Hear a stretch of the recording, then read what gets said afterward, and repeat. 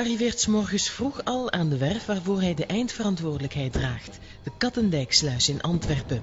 Van Rudy krijgt hij meteen een probleem op zijn bord. Koen, ik denk dat wij hier een probleempje hebben ons wrijfhout. Ja.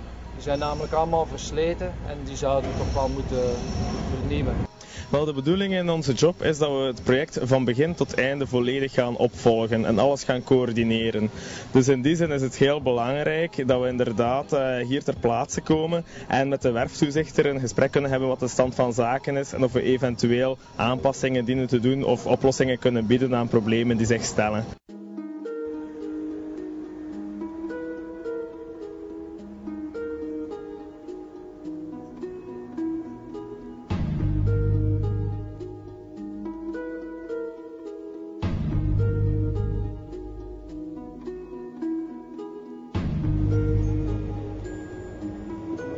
Het Limburgse Vroenhoven controleert Kathleen samen met werfleider Valentin de bouw van een nieuwe brug met amfitheater.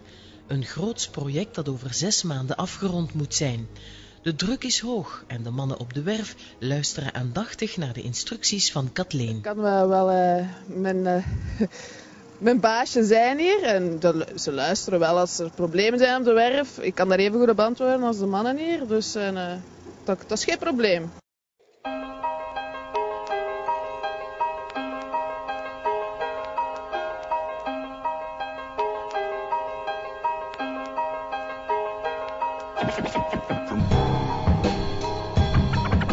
Jimmy controleert vandaag de biogasinstallatie van Herman uit Rijkenvorsel, die 3500 gezinnen van groene stroom voorziet. Nu hij celhoofd is, mag Jimmy dit soort subsidiedossiers zelfstandig afhandelen. Ik heb het zelf mogen ervaren dat je toch grote stappen vooruit kan zetten, dat je ook leiding kan beginnen geven, dat je ook het verschil kan maken naar het beleid toe. Um, langs de andere kant blijft er de mogelijkheid om steeds een gezonde balans te vinden tussen werk en privé.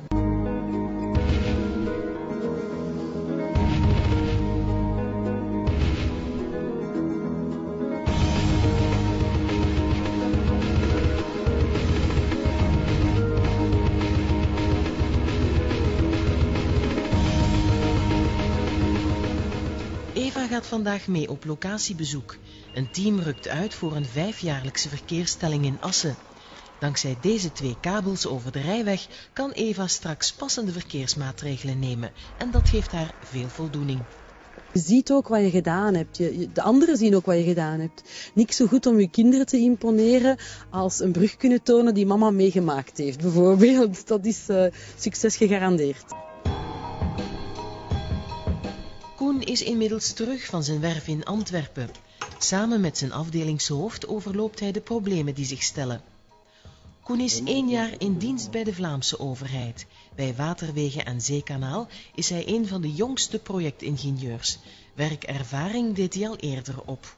Ik heb vijf jaar ervaring in de privé. Uh, ik was werkzaam in het buitenland, uh, maar ik was op zoek naar een job uh, hier terug in België. Ik was op zoek naar variëteit in mijn werk en naar verantwoordelijkheid, ehm, waarbij ik bepaalde uitdagingen kon waarmaken.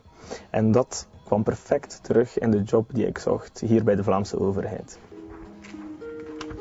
Ronnie, mag ik even iets vragen? Ja. Voor de pompen. Klassement, dat staat nog niet opnieuw klassement. Kathleen ronde in 2002 haar ingenieurstudies af en kon met haar specialisatie bouwkunde meteen als projectingenieur aan de slag bij de scheepvaart in Hasselt. En dat doet ze na acht jaar nog met evenveel enthousiasme. In de privésector, bij een aannemer werken, houdt eigenlijk hetzelfde in, want zij krijgen de werken die wij voorgeschreven, die moeten zij tot een goed einde brengen, die moeten zij uitvoeren en wij zitten gewoon aan de andere kant van de tafel. Bio-ingenieur Jimmy is sinds enkele weken celhoofd bij de VREG. Samen met drie medewerkers van de Vlaamse regulator voor energie en gas overloopt hij een nieuw subsidiedossier van een groene stroomleverancier. Vanuit mijn uh, vorige functie in de privé, uh, waar ik softwareingenieur was, um, daar miste ik het, het, maatschappelijk engagement. Dus daar was een belangrijk contract met een grote wapenproducent binnengekomen. Dan stelde ik me de vraag of dat dan nu was wat ik de rest van mijn leven wilde doen. Um, en dan ben ik op zoek gegaan naar dus een job met een grote maatschappelijke relevantie. Eva is een van de afdelingshoofden bij het agentschap Wegen en Verkeer. Ze bereidt in de namiddag haar eerste vergadering met Vlaams minister van Mobiliteit Hilde Krevits voor. Een flink contrast met haar verleden, toen ze nog als consultant in de privésector werkte. Uh, het is anders in die zin, ja, je werkt nu uh, voor het algemeen belang. Dus uh, jouw klanten zijn. elke Vlaming is jouw klant. En wat je doet is direct zichtbaar. Niet alleen voor jezelf, maar ook voor, ja, voor alle andere mensen die de wegen gebruiken. Bij de Vlaamse overheid vinden jonge leeuwen als Eva, Koen, Kathleen en Jimmy duidelijk de uitdagingen, het engagement en het evenwicht dat ze zochten in een werkgever.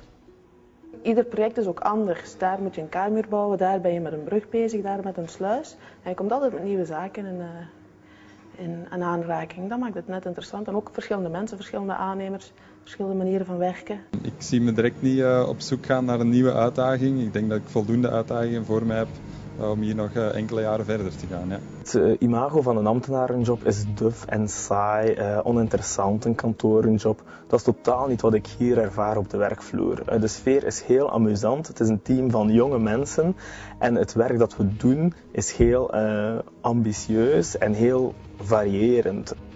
De Vlaamse overheid biedt onze ingenieurs niet alleen een interessante en gevarieerde job, maar ook werkzekerheid en in minder bloeiende economische tijden is ook dat een niet te onderschatten troef. Eva kijkt alvast uit naar nog een heleboel nieuwe collega's. Er is nog veel groeicapaciteit in onze afdeling, want de afdeling expertise verkeer en telematica. Momenteel zitten wij rond de 45 uh, als uh, een paar aanwervingen nog afgerond zijn. En wij moeten evolueren naar 65, 70. Dus er komen nog een heleboel uh, ingenieurs bij de volgende maanden en jaren.